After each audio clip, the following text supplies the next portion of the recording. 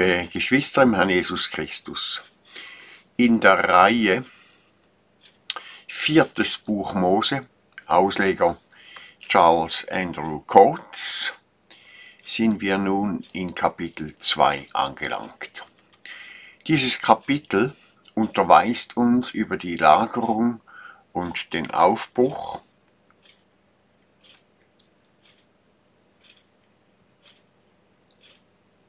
des Volkes Gottes, das zwar als in der Wüste befindlich betrachtet wird, jedoch in Verbindung mit den Zelten des Zeugnisses.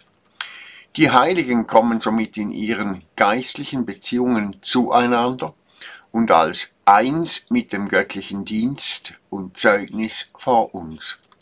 Aber in Wüstenzuständen, wie sie auch der erste Korintherbrief schildert. Was hier da getan wird, ist von Bedeutung dafür, wie alles zu Gottes Wohlgefallen in seiner Versammlung durchgeführt ist, insbesondere bei Angelegenheiten in Verbindung mit der örtlichen Verantwortlichkeit. Da scheint, scheinen auch die Worte anzudeuten, jeder bei seinem Banner, bei dem Zeichen des Hauses ihres Vaters, Vers 2 indem wir ein besonderer Platz zugewiesen. Jedem wird ein besonderer Platz zugewiesen, der seine Beziehung zu seinen Nachbarn, zu ganz Israel und zum Zelte des Zeugnisses bestimmt.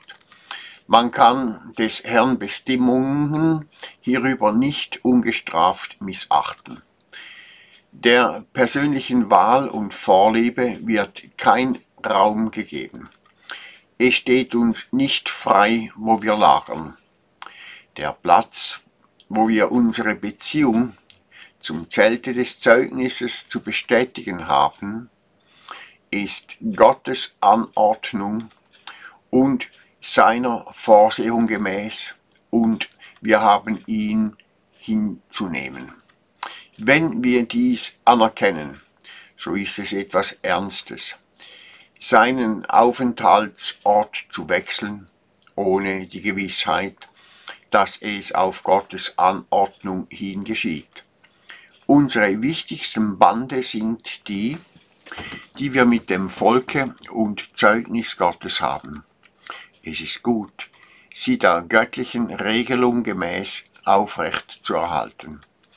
Wir sind keine beziehungslosen Einzelwesen, die die Freiheit haben zu tun, was sie wollen. Wo wir lagern, sollte immer Beziehung zum Zelte des Zeugnisses haben und ist immer von Gott bestimmt. Sonach haftet dem, was wir unsere örtliche Beziehung zu den Brüdern unterhalten, nichts Zufälliges an. Jeder hat bei seinem Banner zu lagern, und das Banner steht mehr mit den vier Lagern in Verbindung als mit jedem einzelnen Stamme. Die Zahl 4 bezieht sich auf das Weltumfassende. Die vier Lager hatten die Stellung im Osten, Süden, Westen und Norden des Zeltes der Zusammenkunft inne. In dem Stamme kommt in jedem Falle besonders das örtliche zum Ausdruck. Doch kein Stamm hatte ein Banner für sich allein. Das Banner und das Lager, zu dem er gehört, begriff immer zwei andere Stämme in sich.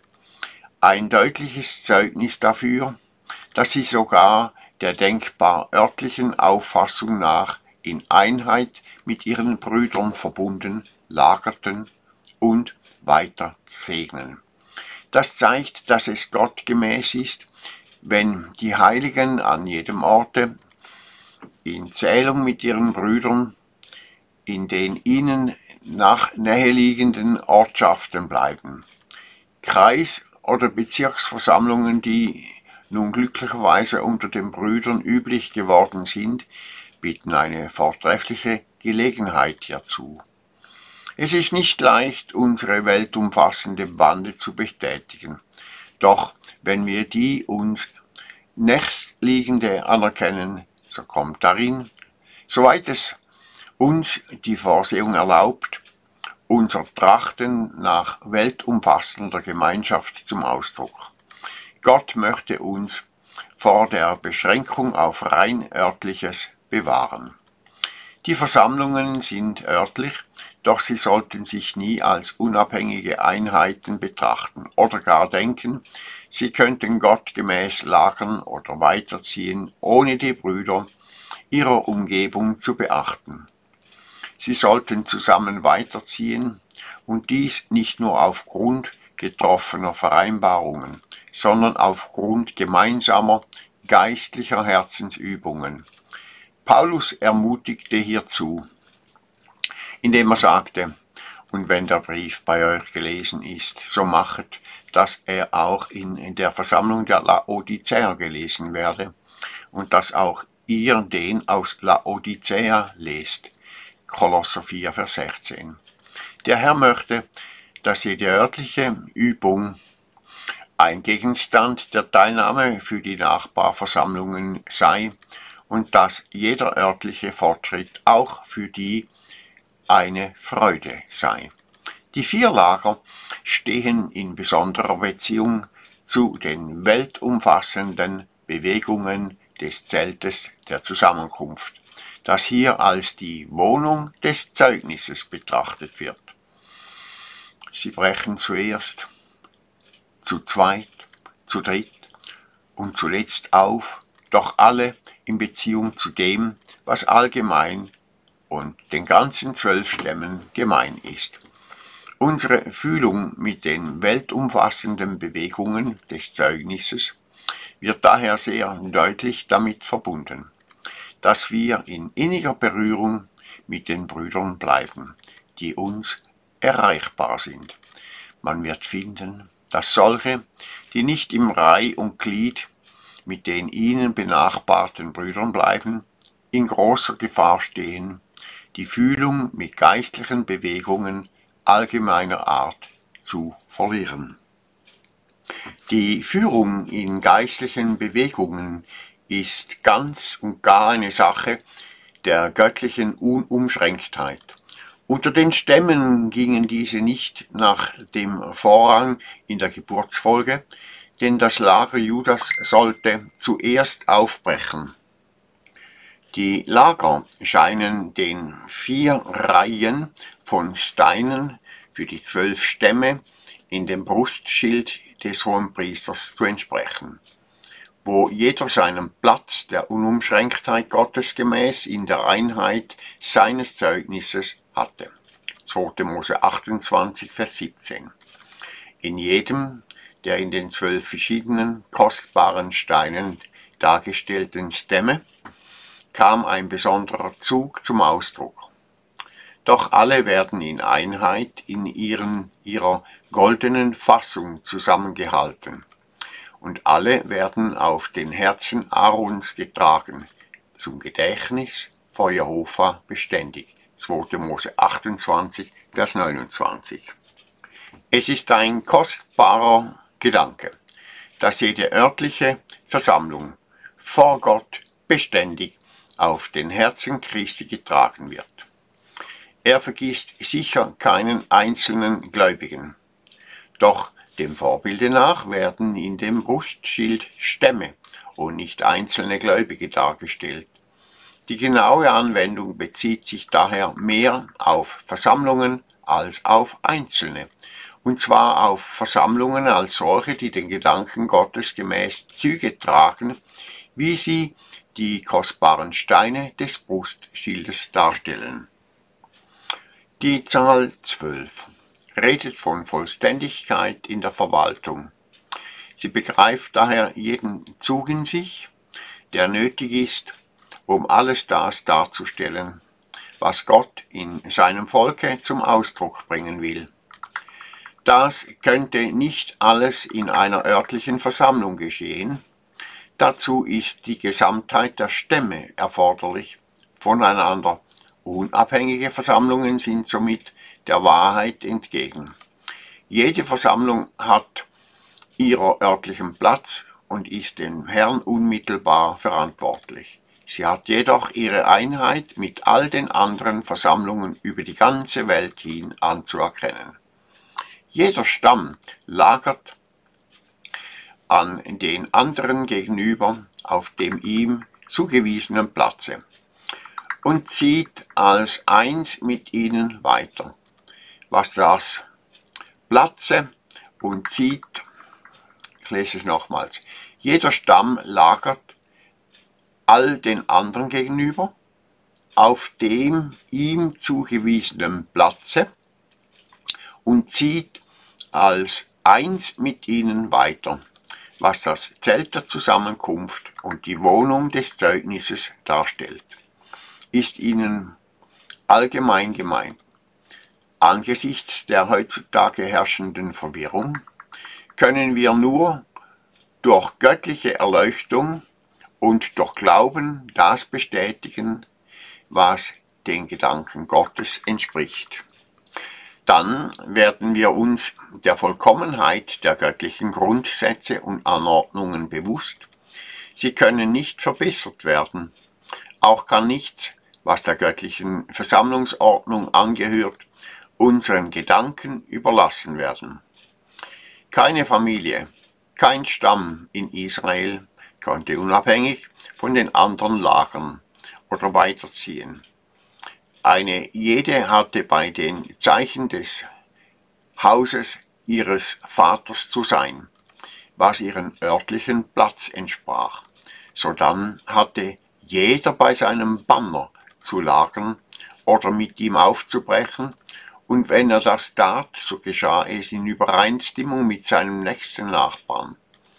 Weiter waren das Zelt der Zusammenkunft und das Lager der Leviten in der Mitte der Lager. Vers 17.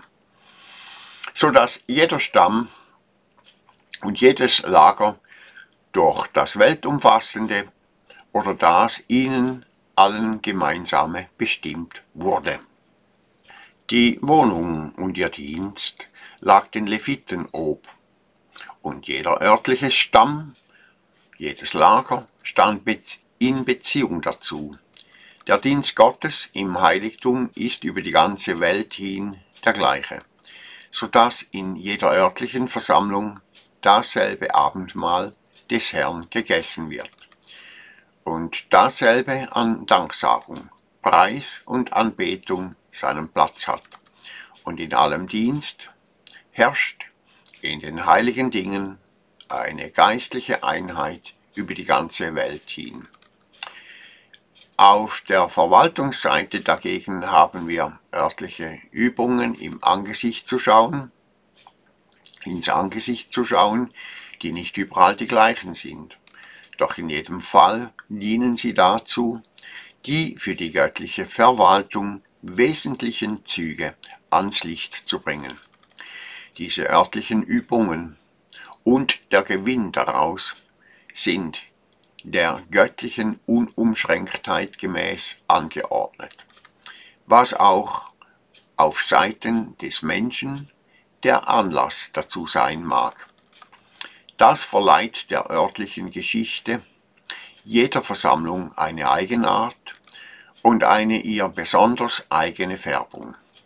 Es ist kostbar zu wissen, dass unser großer Hohenpriester droben das, was in jedem Falle das göttliche Ziel ist, auf seinem Herzen trägt. Jeden Stamm auf seinem Brustschild kennzeichnet etwas Besonderes, was Färbung und Wert anlangt. Und es sollte unser Gebet sein, dass durch all unser, unsere Versammlungsübungen, durch seine Gnade, jene Wesenszüge gestaltet werden, die geistlich der göttlichen Verwaltung angemessen sind. Solche Wesenszüge sind die Frucht tiefer Übungen und das des Wartens auf den Herrn inmitten von Verhältnissen, die uns auf die Probe stellen und die geistliche Weisheit und Kraft erfordern, ihnen gottgemäß entgegenzutreten.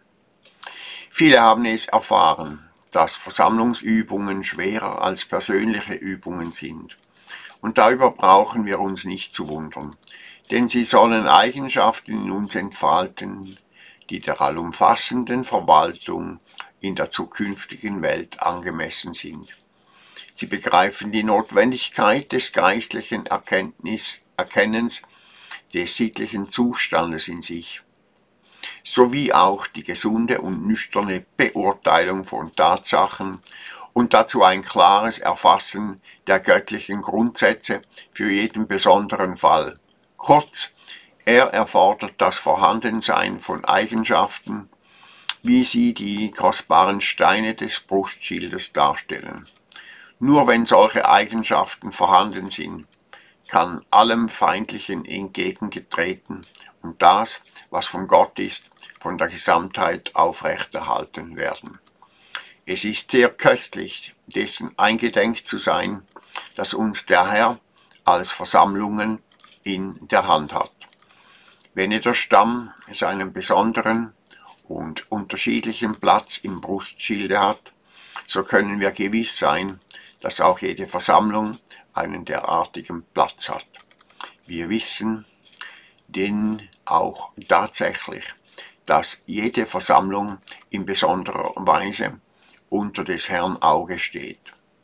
Denn er befahl seinem Knechte Johannes, Briefe an sieben verschiedene Versammlungen zu schreiben. Sieben als sinnbildliche Zahl deuten an, dass diese Versammlungen alle Versammlungen darstellen. Jede fand seine besondere Beachtung. Er betrachtet sie in Offenbarung 2 und 3 in ihrer Verantwortlichkeit als Lichtträger. In 4. Mose 2 werden sie im Bilde als solche betrachtet, die einen von Gott ersehenen Platz in der Verwaltung haben und dazu berufen sind, allem Feindlichen gegenüber das aufrechtzuerhalten, was mit dem gegenwärtigen Zeugnis verbunden ist. Tun Sie das, so entsprechen Sie dem Platz, den Sie im Brustschild haben. Das Lager der Stämme der Ordnung in 4. Mose 2 gemäß und das Ausziehen der Gemusterten zum Heeresdienst stellt dar, wie die Heiligen in örtlichen Versammlungen, die jedoch in inniger Berührung mit, dem un mit den umliegenden Versammlungen bleiben. Über die ganze Welt hin das aufrechtzuerhalten und kampfgeübt verteidigen, was zum Zeugnis Gottes und zu seinem heiligen Dienste gehört. Da gibt es keine Lücke in den Reihen, keine schwache Stelle, wo der Feind einbrechen könnte. Osten, Süden, Westen und Norden bilden eine geschlossene Front die Wohnung des Zeugnisses, den Dienst des Heiligtums, behütet eine kampferprobte Schar. Das ist Gottes Gedanke. Fehler, die vorkommen oder auch vorkommen könnten, sollten uns nicht hindern, die göttliche Ordnung zu sehen und dann danach zu trachten, soweit das am Tage des Verfalls möglich im Einklange mit ihr zu bestehen. Das Zeugnis ist eben das, was es immer war. Wenn wir nicht in Einheit mit den Brüdern über die ganze Welt hin dafür einstehen, so sind wir Fahnenflüchtige und das ist keine Ehre. Unser Kapitel redet nur davon, dass die Stämme lagern, sondern unser Kapitel redet nicht nur davon, dass die Stämme lagern, sondern auch davon, dass sie von Zeit zu Zeit aufbrechen. Das lässt uns erkennen, dass das Zeugnis kein stillstehendes ist, es ändert seinen Standort und ist durch Bewegung gekennzeichnet. Es erfordert beständige Übung, auf die Bewegungen der Wolke zu achten, den Schall der Trompete zu hören und mit unseren Brüdern aufzubrechen.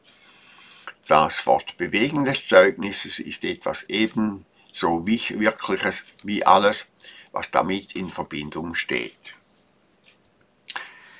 die mit dem Wiederaufleben der Wahrheit der Kirche und den Wesenszügen der Kirche verbundenen göttlichen Wege waren durch offenbare geistliche Bewegungen gekennzeichnet.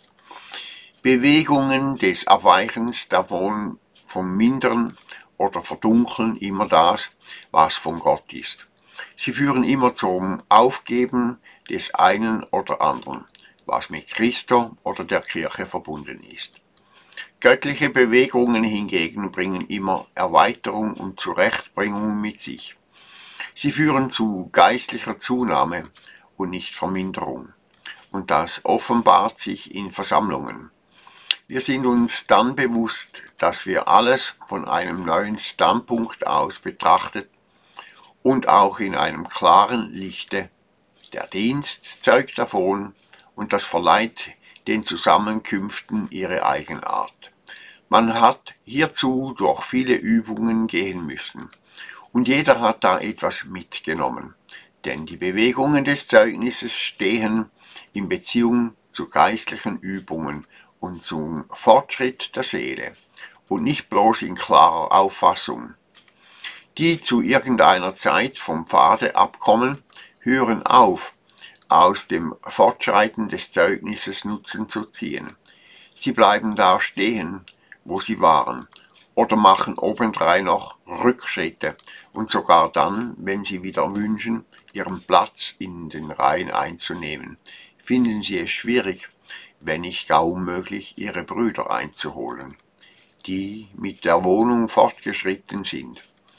Alles wird nun von einer veränderten geistlichen Stellung aus betrachtet, und solche, die nicht mit dem Heere des Herrn weiterzogen, sind außerstande, die Dinge so zu sehen, wie ihre Brüder sie sehen. Die kostbare Ausrüstung der Wohnung bleibt das, was sie war, doch es gibt ein geistliches Fortschreiten oder ein Wechsel der geistlichen Stellung in Folge des Weiterziehens unter göttlicher Leitung. Es ist durchaus nicht Gottes Wille, dass sich sein Volk gleichsam auf seinen Häfen niederlässt und in einer festen Stellung verharrt. Die Vorbildlehre des vierten Buch Mose macht es sehr klar, dass Bewegung ein Gesetz des Versammlungsfortschrittes ausmacht. Und jede Stufe dieses Fortschrittes bringt das Heer Jehovas in eine veränderte Stellung. Und wenn man nicht mit dem Heere dorthin gezogen, so kann man nicht den dieser Stellung eigenen Ausblick genießen. Mit dem eigenen Zelte jedes Israeliten steht nicht nur das Persönliche in Verbindung, sondern auch das Weiterziehen mit der Gesamtheit unter göttlicher Leitung. Die Teilnahme aller an einer solchen Bewegung und das Aufbrechen in göttlicher Ordnung ist klar in dem Vorbilde zu sehen. Und wir können sicher sein, dass es einen wichtigen Platz in Gottes Wüstenbewegungen hat. Es hat mit dem als Versammlungen betrachteten Volk Gottes zu tun, und wird schwerlich von solchen verstanden werden, die auf unabhängigem Boden stehen oder in menschlichen Sonderkirchen sind. Wir werden finden, dass es, wenn die Heiligen in Übung vor Gott verharren, eine beständige Erweiterung der geistlichen Auffassung gibt. Der wahre Platz von allem nach der Schrift und das besonders mit Bezug auf unseren Wandel miteinander als solche, die Gottes Versammlung angehören, wird klarer gesehen. Und das wird, führt zu einem demgemäßen anderen Verhalten. Wir haben eine neue Stellung einzunehmen, denn die frühere entspricht den Bewegungen der Wolke nicht mehr. Wenn also Heilige lagern, sie seien gerade da, wo sie vor 40 Jahren waren, so besagt das entweder, dass die Wolke 40 Jahre stillgestanden hat oder dass sie nicht mit ihr gezogen sind. Wenn die Wolke verschiedene bestimmte Bewegungen in jener Zeit gemacht hat und die Heiligen haben auf ihre Bewegung geachtet und sind ihnen gefolgt, so ist es unausbleiblich, dass die, die nicht mitzogen, in dieser Zeit eine ganze Strecke Weges zurückgeblieben sind. Wenn wir nicht verstehen, was es heißt, mit dem Zeugnis zu ziehen, so ist es klar, dass uns ein sehr wichtiger Zug, der Wege Gottes, mit seinem Volke entgangen ist. Die Lager brechen auf und dann das Zelt der Zusammenkunft und das Lager der Leviten in der Mitte der Lager. Vers 17. Die ganze Geist, göttlich geordnete Weltordnung nimmt von Zeit zu Zeit an einer bestimmten Bewegung teil. Die örtlichen Versammlungen brechen in Einvernehmen mit ihren Nachbarversammlungen auf. Beim Zusammenkommen der Heiligen, was dem Zelte der Zusammenkunft entspricht, wird dann Bewegung offenbar. Die Zusammenkünfte sind nicht genau das, was sie 40 Jahre zuvor waren. Man findet das Levitische und Priesterliche, der Dienst des Wortes und der Dienst Gottes samt allem, was zum Heiligtum gehört, sind in geistlicher Hinsicht zu einer neuen Stellung fortgeschritten. Es ist klar, dass keiner eine solche Bewegung wirklich versteht, außer denen, die daran teil hatten. Wenn wir nicht mit aufbrechen, so bleiben wir zurück und verlieren die Fühlung mit denen, die es tun. Wahrscheinlich finden wir dann Fehler bei ihnen und fühlen uns dabei im Recht. Ja, es kann sogar so weit kommen, dass wir uns von ihnen als solchen trennen, die einen verkehrten Pfad verfolgen, während doch in Wahrheit das ganze Übel an unserem eigenen Zustande liegt.